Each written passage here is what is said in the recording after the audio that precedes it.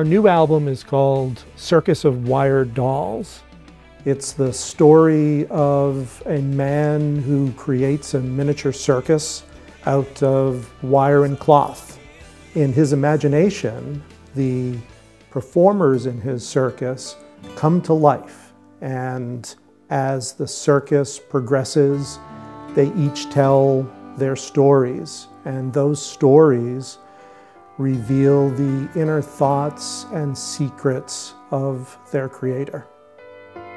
Friday, it's an early afternoon. October's gone too soon. Where did our lives go? The wind blows and it scatters all the fallen leaves through the streets of our sleepy little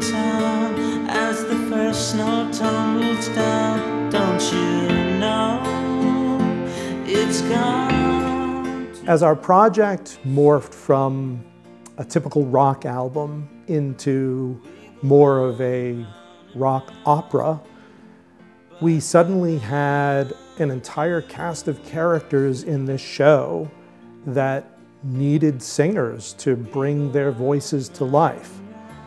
That gave me the opportunity to reach out to a few of my friends in the music industry to ask if they'd be interested in being a part of this rock opera of ours. And luckily, all of them agreed to be a part of it.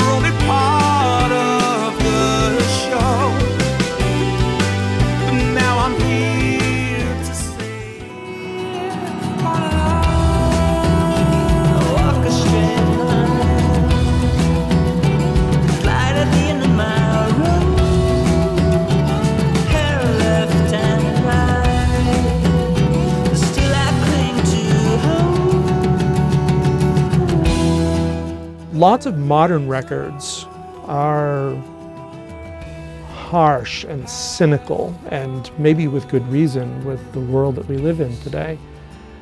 But I didn't want this record to be that. It's unapologetically nostalgic and sentimental, and I wanted the production to reflect that. It's really an end of life story, uh, one man looking back at his life, thinking about his successes, his failures, his regrets, the people who have entered and exited his life. It's a nostalgic, sentimental story.